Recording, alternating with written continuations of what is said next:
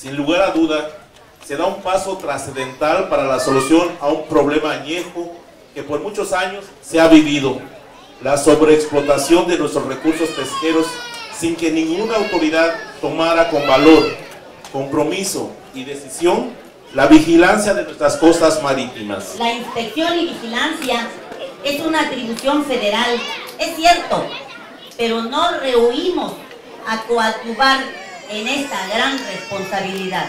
Con el respaldo del presidente municipal y el nuevo comisario, seguiremos vigilantes. No permitiremos depredación ni actos de corrupción en la actividad pesquera.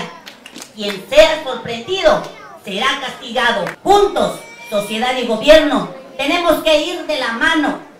La de hoy es una muestra de que sí podemos avanzar más y crecer en grande. Isla Arena es un símbolo de Campeche.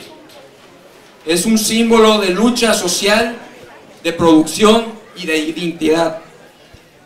Cuidemos hoy lo que queremos conservar y acertadamente tendremos un futuro para nuestras generaciones. Tenemos la pesca como fuente de sustento familiar, del bienestar de la isla, pero sobre todo, cuidemos la pesca como parte fundamental de la vida de la isla y como una de las grandes actividades productivas de Campeche.